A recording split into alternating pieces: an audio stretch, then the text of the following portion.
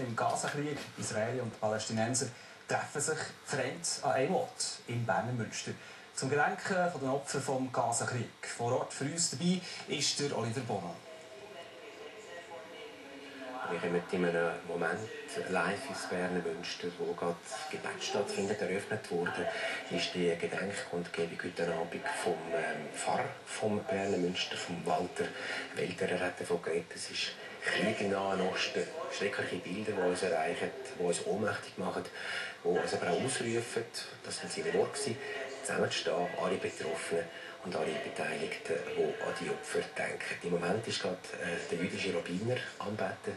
Wir haben vorher gerade einen muslimischen Imam gehört, der mit äh, sehr eindrücklichen arabischen Gebet die besinnliche Stimmung, die hier herrscht in Berner Münster unterstrichen. Solange die Gebete im Gang sind, ist klar, wenn wir da nicht weiterführen gehen, Organisiert wurde ist die Kundgebung in Berner Münster äh, in wenigen Tagen, wenigen Stunden fast, kann man sagen, aus einer tiefen Empfindung heraus halt, was die Opfer im Gazastreifen angeht. Und zwar organisiert wurde das vom umtriebigen Eventmanager Sidney Weil, vor Jahren bekannt worden von den Festivals Rock gegen Hass. Christian Lieb hat ihn heute Nachmittag begleitet bei den letzten Vorbereitungen für die Kundgebung.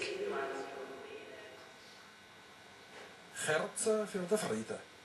Die Organisatoren der Kundgebung haben die Lichtli von der Caritas geschenkt bekommen.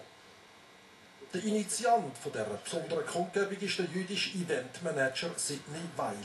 Er will mit dieser besonderen Veranstaltung auf einen nachhaltigen Frieden herarbeiten. Also nachdem ich gesehen habe, dass so viele einseitige Veranstaltungen stattfinden, wie es unter anderem auch am Samstag in Bern, möchte ich äh, etwas äh, leisten zur Ausgewogenheit von der ganzen Sache und ich habe gefunden, diese Veranstaltung würde sich dazu eignen, indem dass ja alle Parteien anwesend sind. Mit dabei neben Pfarrer, Imam und Rabbiner sind auch Trommler, die für den Frieden Musik machen. Zum Beispiel der Toni Majdalani aus Palästina, der seit 20 Jahren in der Schweiz lebt. Sie wollen etwas für den Frieden tun? Äh, für, für, ich hoffe ja sehr, sehr, dass äh, so Sachen und, und andere und andere Leute machen bringt Leute um ein bisschen zusammen sein und ein bisschen reden und eine andere Art. Äh, und nicht aufeinander schiessen. Und, äh, ja. Bleibt noch zu hoffen, dass die leislichen Töne aus Bern auch im Kanonendonner im Gazastreifen gehört werden.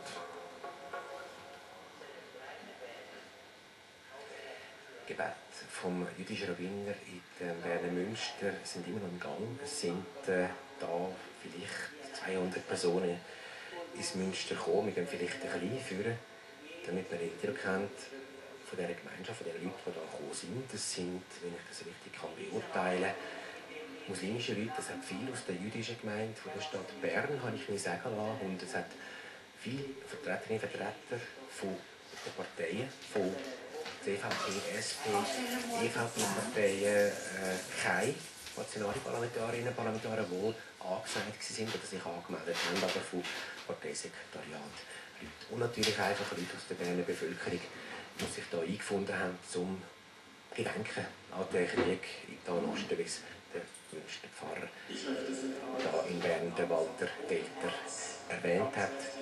Im Moment äh, wird, ähm, äh, werden Interviews stattfinden da vor Ort und dann wird äh, das Trommelkonzert von palästinensischen, jüdischen, israelischen und schweizerische Künstler stattfinden. Ebenso kurz vor der Nacht wird dann die Gedenkkundgebung hier in Münster zu sein. Der Oliver Bono aus Bern.